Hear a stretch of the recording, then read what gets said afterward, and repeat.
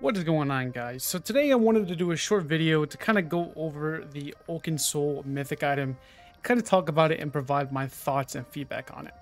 So I specifically made a werewolf build and I think this will be one of the best werewolf builds coming out next patch. Uh, it looks like something I'm going to be trying and testing uh, overall, but we're going to kind of my thoughts on the Oakensoul mythic and then we're going to kind of the werewolf setup um, that I'm looking at, and potential other setups that I'm looking at as well, especially for one bar Sorcs. That was pretty nasty, I gotta be real. But before we get started, if you guys are newer to PvP, I created the ESO Academy Discord server. It is designed as a resource to either help you start or improve at PvP in ESO. We have several hundreds of members and are growing by the day. We would love to have you join. It doesn't matter your experience or skill level, we are here to help. If you guys are interested, I'll leave a link down in the description below. If you're looking for written guides for builds, check out my website at therealgodzilla.com. Do all the YouTube stuff, like this video, subscribe, and comment. And with that out of the way, let's get right into the video. So first things first, let's talk about Oakensoul and will it be a meta mythic item? I think for bombing and ganking, it could be very good, especially with the changes that I got to, like, I guess this is week four the PTS. So the main thing here is Major Berserk, Major Courage, and it also got all of the brutality buffs, the sorcery buff, the prophecy and savagery. It got Major Force as well, which is 20% critical damage increase, Major Resolve, Minor Intellect, Fortitude, uh, and Endurance, and Major Heroism. So I think this mythic is designed for solo play. I mean, there's just no doubt about it. This is one of the best mythics you can run if you don't really care about surviving too much and don't really need two bars. Uh, I'm looking at running this, like I said, on bombers and gankers. Uh, one bar snipe builds, one bar bomb builds with plague break and vicious death, and just gonna go AoE nukage with this because you're just going for that initial punch and you're gonna get major berserk, which is gonna be 10% damage increase.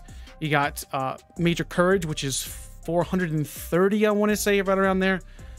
Uh, you have the major force as well. All of that is going to be just insane extra damage in a more stand-up type of environment in PvP. I don't see I don't see this taking over uh, to any degree. The, the, first week of the PTS, I tested my stamina Nightblade.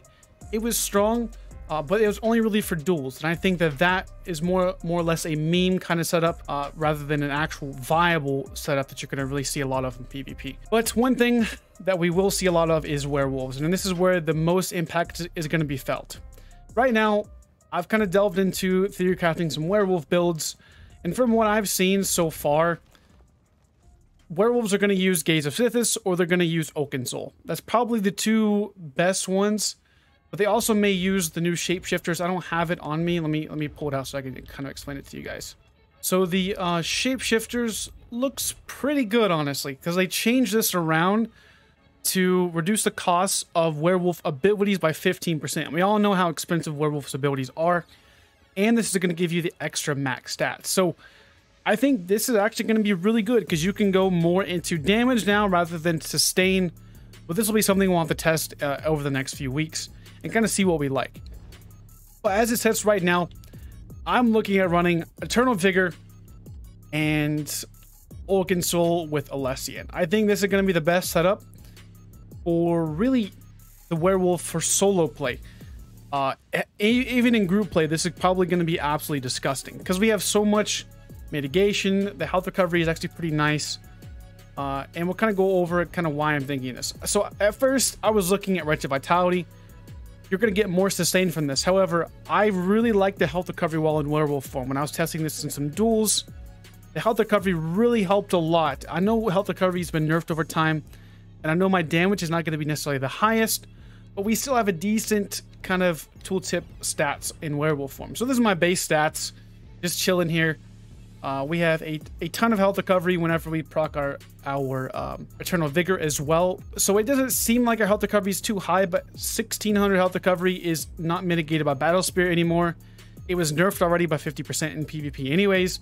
So this is just going to go, if you are at 40,000 health, after two seconds, you're going to get uh, 41,600 health is what your health is going to be at. I know it doesn't sound like a lot, but if your health recovery ticking over time, and your only main burst heal in werewolf form is the Hircine's Fortitude, which scales off maximum health. It doesn't get any type of healing over time or anything like that. Makes it kind of Like you have to rely on health recovery and this burst heal, and that's really what's gonna uh, make the difference for your overall survivability. So if we look at just our stats here, this is just coming into werewolf form. We got 45k health, 24k stamina.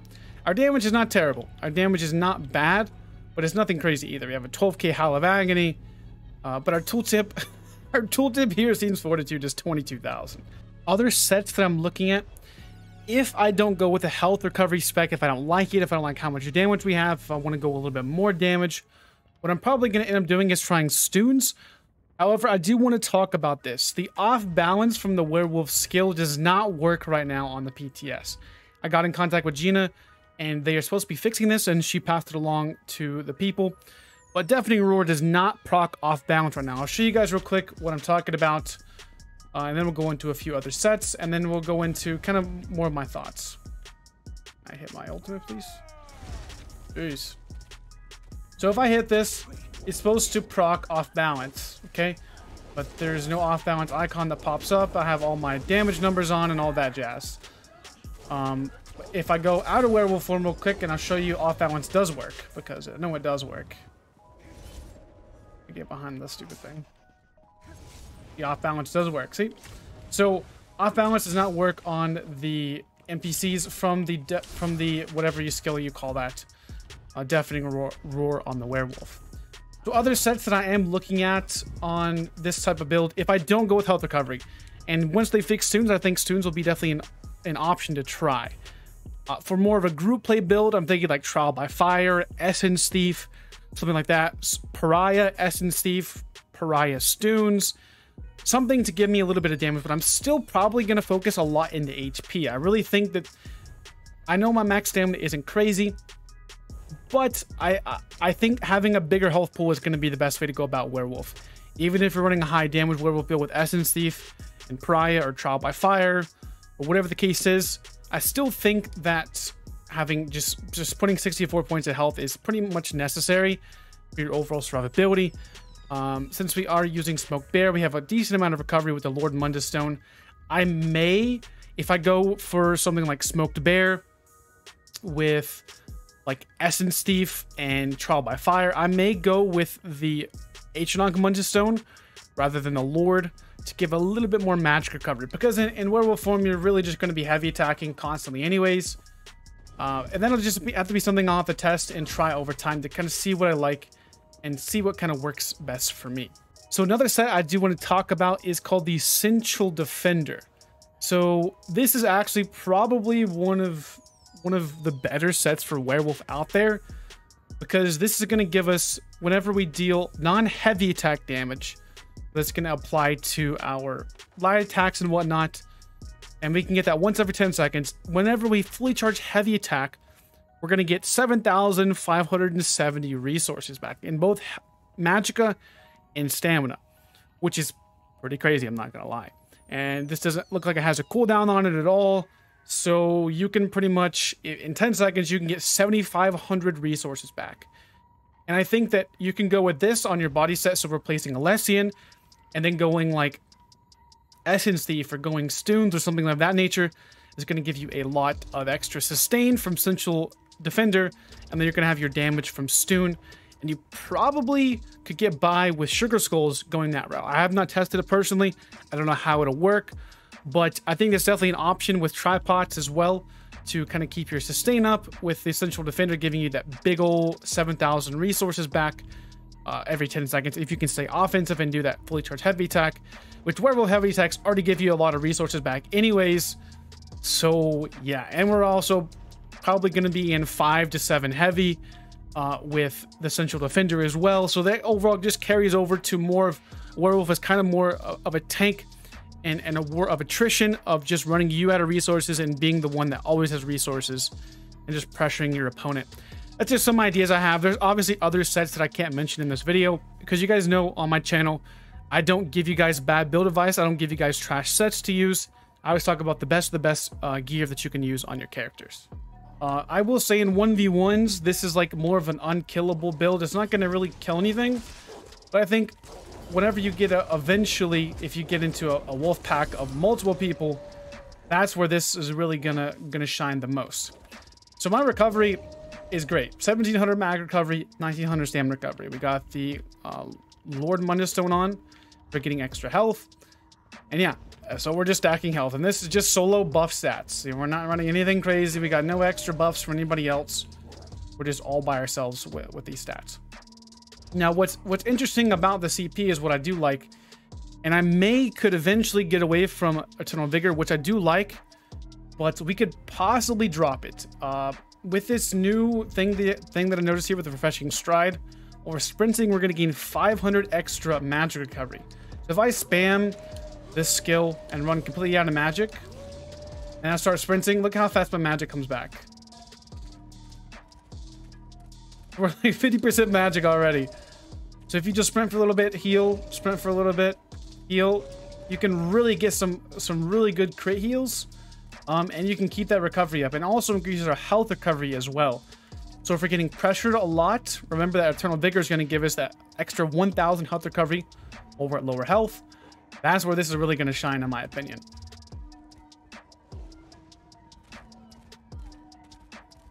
But if you really want to prioritize health recovery, obviously you're going to go with Gaze this over Oakensoul. Oaken Soul is going to provide you the most damage, but that Gaze this is going to get you the most mitigation, health recovery, and armor, which is going to scale very nicely with your Alessian. We're right at cap of Alessian, so there's really no extra reason to go much higher the resistances than what we have.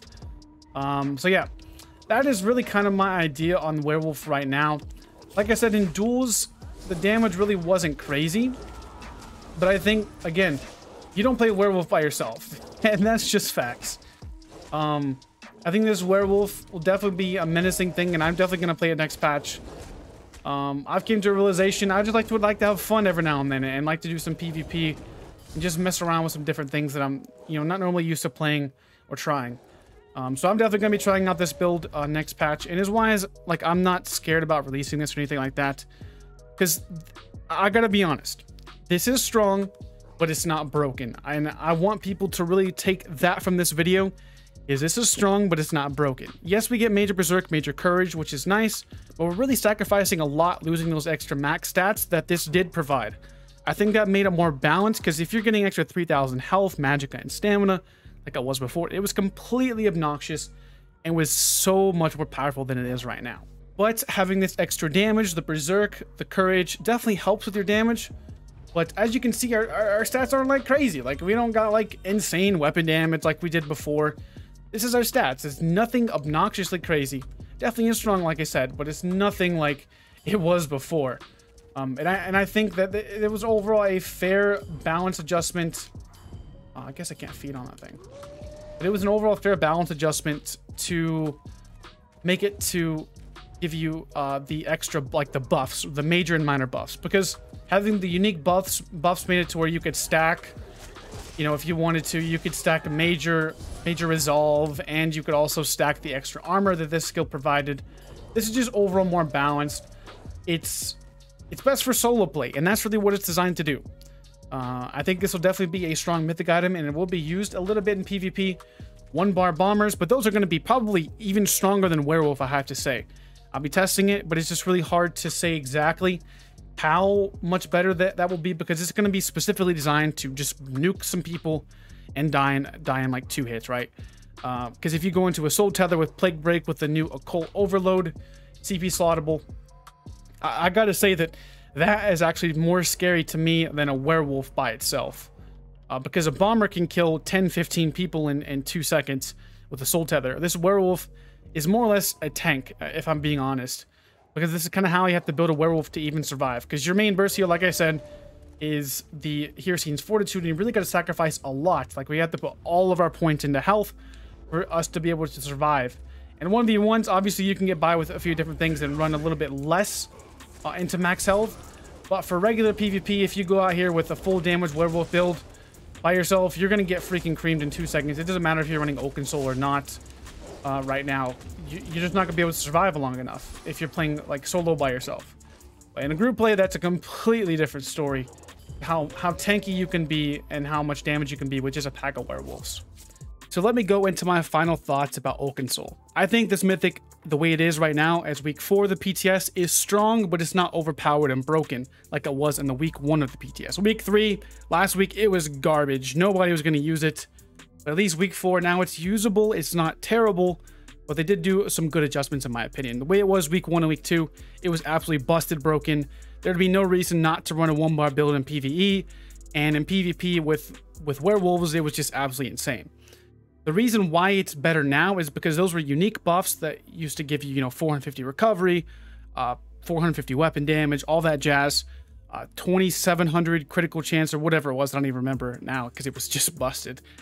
But that was unique buffs, and those are going to stack with other major buffs as well. The fact that it's now just major buffs rather than unique buffs makes it a lot more balanced than it was before. It's something I want to talk about that people are going to ask is it broken with werewolves? And I want to say no. I think there is more issues and problems with werewolf as it is currently than just with Oakensoul. Because werewolf, in all seriousness, if you have four, five, or six, seven werewolves coming at you, that is broken. There is something inherently wrong with that. That you don't have to have Oakensoul for that to be powerful, right? But with Oakensoul on top of it, sure, it may be a little bit better, but it's not going to make a lick of difference anyways. They could all be running Gaze of Sithis. They could all be running Shapeshifters. This doesn't make a difference. You're going to die if you're going up against seven or eight werewolves. It's just the reality of the situation. They're so tanky. They have such high healing potential. And if you have five or six people hitting you with Howl of Agonies on your forehead, it's really going to hurt. So I think there's something inherently wrong with that rather than Oakensoul. I think we need to separate the two and not put them together because werewolf and Oakensoul go together like peanut butter and jelly but but peanut butter may have something wrong with it.